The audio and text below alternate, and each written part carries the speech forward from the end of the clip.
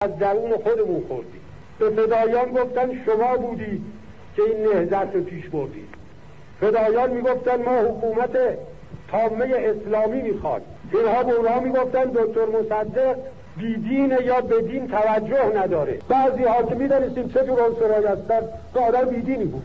همین دکتر مصدقی که سر تا پاش توحید بود و وسیعت نامش به نماز به روزه به حج شاهد این بود که این مرد چقدر ایمان داشت.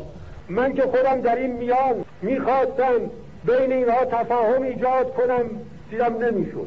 امروز صحبت می‌کردم فردا میدم چهره ها عوض شده. مرحوم دکتر مصدق می‌گفت من نه مرد مدعی حکومت اسلامی هستم و نه می‌خواهم همیشه حاکم و نخست وزیر شما باشم.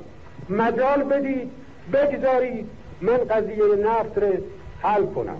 اونها می‌گفتن ما سهم بزرگی داریم باید خواسته های ما رو انجام بدیم. آمدن دو مرتبه سراغ مرحوم آیت الله کاشانی. باز از راه نفسیات این نهزت مال توست. دکتر مصدق چی کار است؟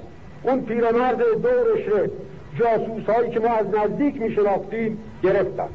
یادم هست روزی که گفتگو بود که مرحوم آیت الله کاشانی حمایت از زاهدی می کند و توطعه در کاره. به تنهایی رفتم منزل ایشان. در همین قسمت پل چوبی تنها بود. در اتاقی به انتظارش نشستم.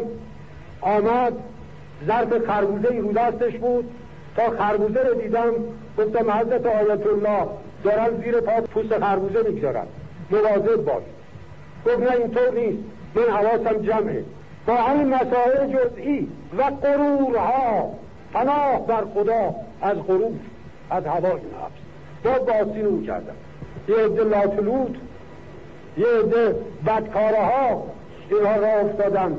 با چند دینار پول عده اوباش و دزد و ناچیز و پسر بر همه حیات و زندگی ما مسلط کردن.